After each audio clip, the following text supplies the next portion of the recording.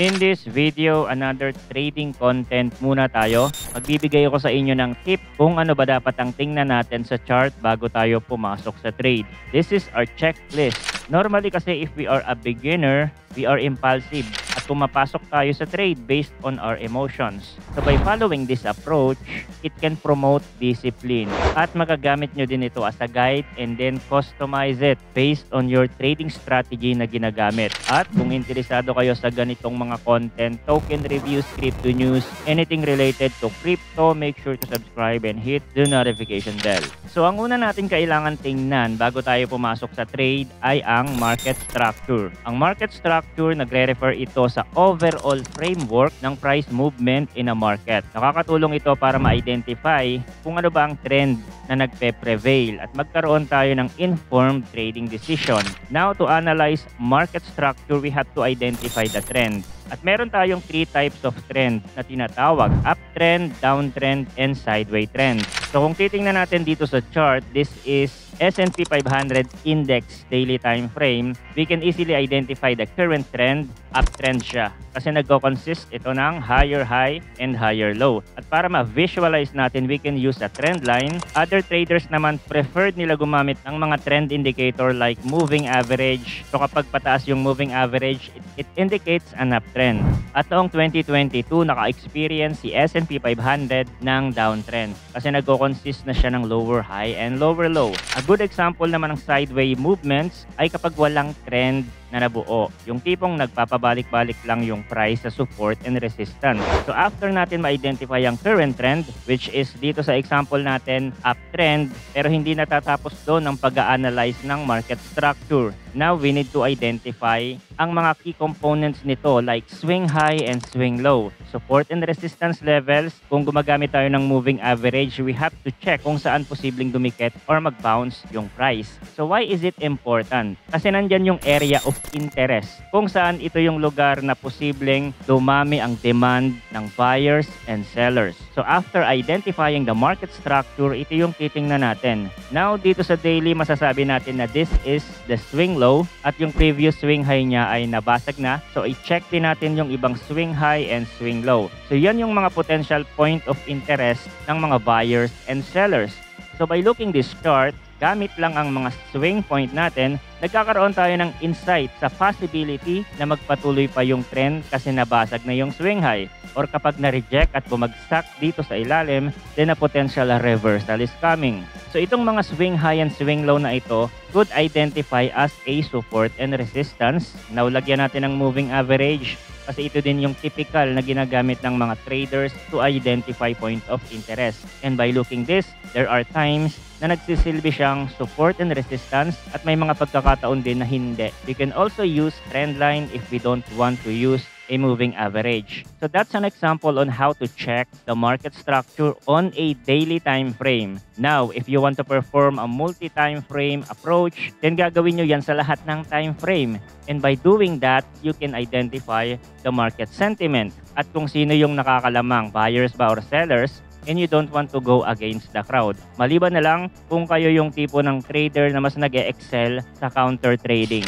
So bago tayo pumunta sa susunod, let's talk about the sponsors for today's video, ang Prime XBT, ang all-in-one platform na ginagamit ng mga traders ngayon. If you are an experienced crypto trader at gusto mo mag-explore sa ibang market, gamit lamang ang isang platform, magagawa mo dito yan sa Prime XBT. Kasi meron sila ditong wide range of assets na ino-offer, including forex, commodities, and indices beneficial siya if we want to diversify our portfolio.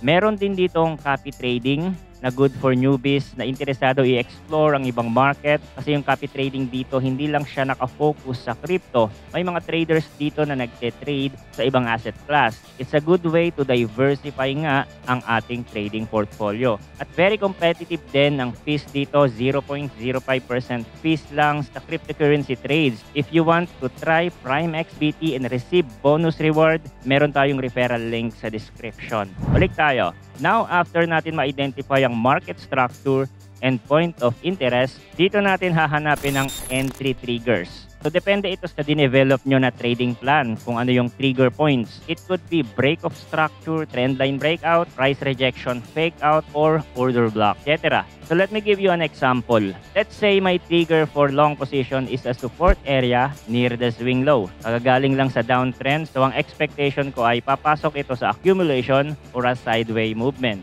In this area, napansin natin na hindi na nag-result sa another lower low. Hindi na na-violate yung swing low dito at sinundan siya ng higher low. Now, after niya mag-bounce and form a higher low, ito na yung point of interest ko. Na kung tama ang aking assumption na nagbabago na yung sentiment, the price will not go below this swing low. So this is my trigger. Kapag nag-retrace dyan yung price, I will buy or put a long position kasi malapit siya sa swing low and nag-act na support. So we can call it an order block or a demand zone. That's my trigger. Now, kung hindi aabot ang retracement dyan, then walang trade na mangyayari. Another example of a trigger is a fake out. Kung kayo yung trader na you know how to identify a fake out, then you can use it as a trigger. Let's make an example. So ang market ay nanggaling sa uptrend at pumasok ito sa consolidation na hindi tayo sigurado pa kung it's a distribution or accumulation. So we have to wait. Then napansin natin may breakout na nangyari pa taas.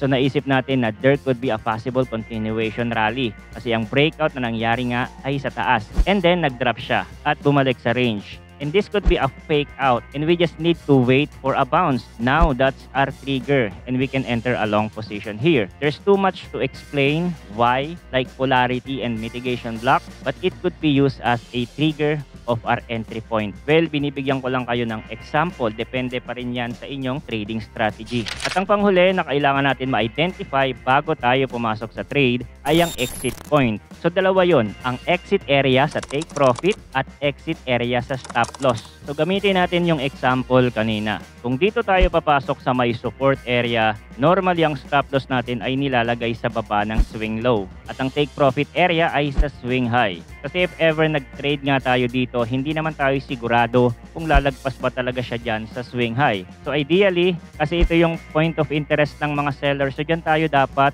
magbenta. So kung lalagyan natin ng risk to reward ratio, then mas mataas yung possible rewards kumpara sa potential loss. Maraming ways to take profit, katulad ng weekend use use a trailing stop. Ibig sabihin, ina-adjust natin yung stop loss and we will take advantage the trend. That's another way. It depends on your trading plan at kung paano nyo ba i-approach yung market. It's case-to-case -case basis. And sometimes, nade-develop natin ito throughout the years of trading experience. The way we look on the market structure, point of interest, entry, and exit area. So ito lang yung mga guide na makakatulong sa inyo as a trader, baguhan man kayo or may experience na. Minsan kasi meron nga tayong experience pero mali ang ginagawa natin and eventually matututunan din natin yon along the way. However, this information can help you to make your trading plan better kung meron man kayo or kung wala, you can use it and make your own. Okay? So yun lang ang trading video tutorial natin for today. Thanks for watching again. Good luck and see you on the next video.